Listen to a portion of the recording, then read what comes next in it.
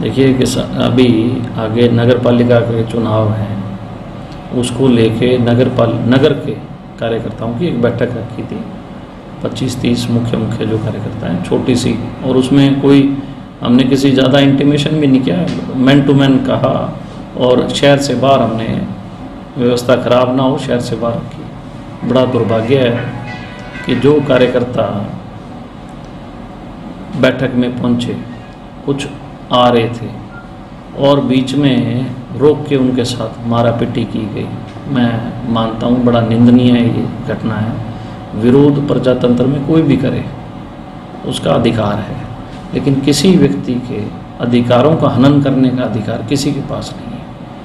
तो जो कल घटना हुई है मैं उसकी निंदा करता हूँ कड़े शब्दों में कि भाईचारा खराब ना करें।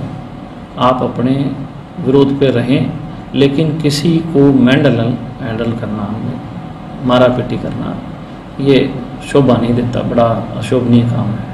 कुछ कार्रवाई की मांग भी कर देखिए अभी जो कार्यकर्ता हैं वो हॉस्पिटलाइज्ड हैं वहाँ से रेफ़र हुए हैं। अभी देखते हैं क्या रिपोर्ट आती है।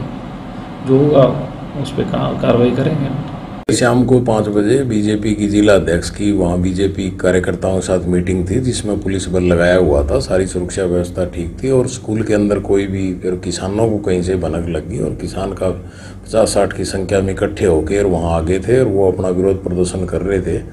तो स्कूल के अंदर तो कोई बढ़ा नहीं था और बाद में मीटिंग कैंसिल, पोस्टपोन कर दी गई थी बीजेपी जिला अध्यक्ष के द्वारा।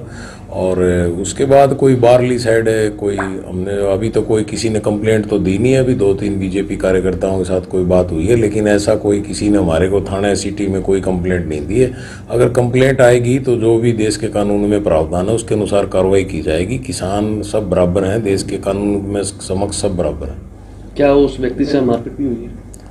नहीं, अभी किसी ने कंप्लेंट ही नहीं दी, अब क्या कह सकते हैं?